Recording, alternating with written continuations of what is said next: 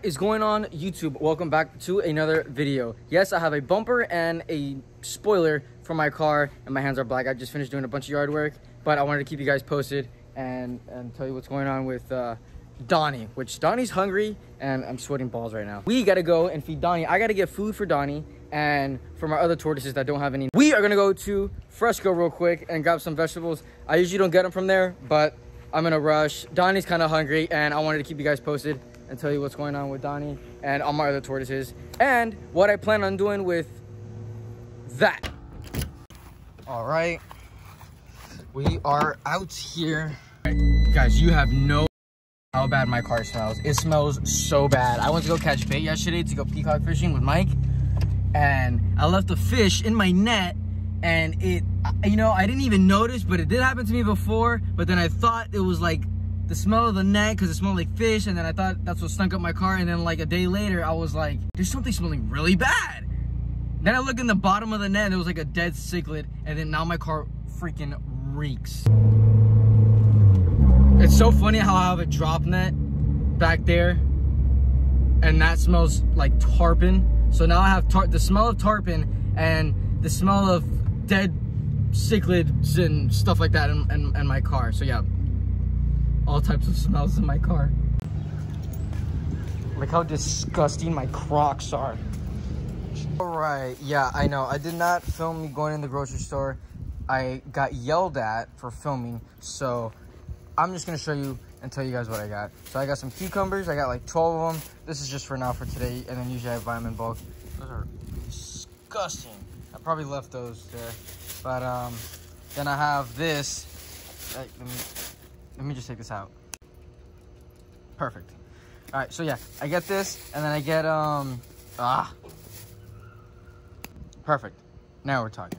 All right, usually I just get one, one piece of this, and then I'll go over. Look here, we got some of my Redfoots. They're already eating the Mazuri diet. They love this. This is actually, like I said, my last video. These things are super, super healthy for the tortoises. And then I have this for the smaller tortoises move out of move out of my way. And then I have this, have it for these little guys. Little guy, they love this stuff. I'm like teasing this guy, but here you go, little guy. There you go. Oh look, there you go. Oh, oh look at this guy running. Guys, you'd be surprised. Even when they're this size, you think that because they're babies, they, they don't know. But no, when they see food, they'll come and get it. They love this stuff. Ain't that right, little guy? I call this guy Grumpy because look, look at his face. He was born with a jaw let me see if focus on that. What's the little guy? His jaw is like crooked. I think it's broken or something, or it's just deformed. But I call him Grumpy because he looks grumpy. But he's actually super healthy. Look at this little guy. But um, we're gonna put him back down there. There we go. See, Donnie already knows, and then we have like the small. Look, this guy already knows. Oh, look at her. Look, she she loves this stuff. Like, can I, there we go. Look at that. She, she loves this stuff. Look at that. But um, we're gonna get him some cucumbers, and uh. Because he's hungry. There you go, big guy. Come on. Oh, yeah. Oh, yeah.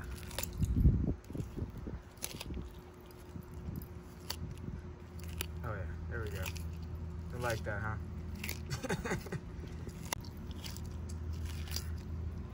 Donnie can actually eat, I think like he can probably eat about a dozen uh, cucumbers the big ones too, not not the small ones because there's some smaller ones. But he get he gets he gets a good. Um, Donnie gets a really nice appetite, so uh, I, that's why I like to give him the cucumbers. He can't really eat these because they're too small and you know it doesn't really fill him up. But it's really good for the uh, for the redfoots. You can eat that. You don't want that one. You might want another one, right?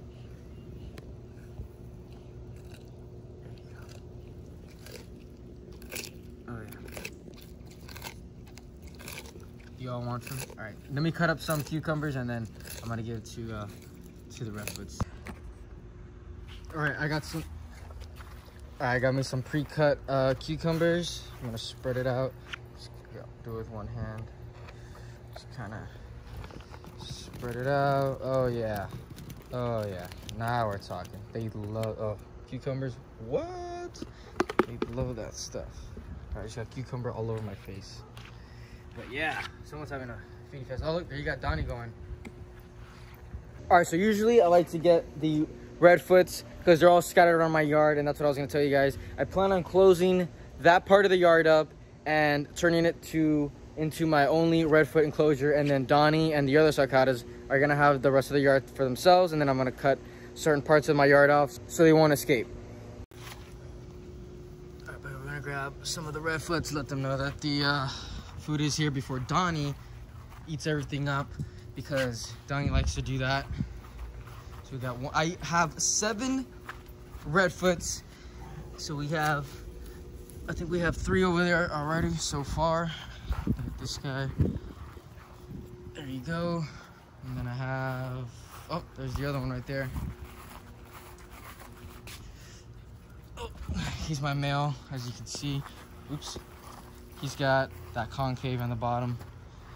So we got three there. Missing four more. All right, so this is the problem with sulcata tortoises. Like I put driftwood here to, you know, kind of like give life to the burrow. Even though they, you know, they dig a giant hole in my yard, but this is the problem with these. Oh my God, I almost fell into the freaking burrow. Because look at the size of this freaking burrow in my yard. Look at this. So we do have a redfoot down there. Um, I'm not sure if I want to grab him yet, but let's go grab the other ones and then let's see how how he's looking. But look at the size. I can literally fit i can fit in this burrow if i wanted to. All right so i pretty much got some of my redfoots a lot of them are eating some of them are not hungry because they did eat the Mazuri diet earlier today. But i do have my male my both my males and my fem my female eating. But um this redfoot that's down there is way too far down. I just tried getting them and now i'm like super dirty and it just rained so this mud is like it's it's like all mud and and, and rocks and and i really have to dig my body down there. But um let's give you an update on donnie. Donnie donnie's doing just fine. As you guys know farley and i rescued donnie off uh, an elderly an elderly lady who couldn't take care of him. She had severe cancer and she only had a certain amount of time to live. So i promised her i'd keep the name donnie. Quick update on donnie and you know how i got him if you guys didn't know. But yeah donnie's doing just fine. It is raining as you can see. You can see all the little water spots on the redfoots but um they've been mating. Obviously you can see the male and the female doing pretty good there.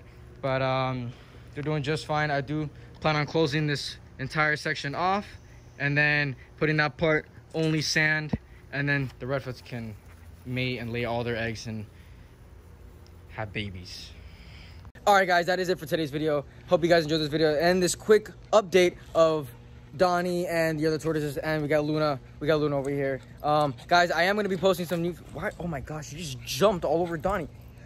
Guys, I am gonna be posting up new fishing videos. Uh, it's just been a while. I've been tied up on a couple things. Do not forget, Luna. Would you stop?